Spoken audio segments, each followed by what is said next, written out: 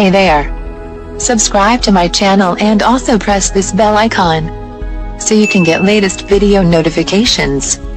And this is absolutely free.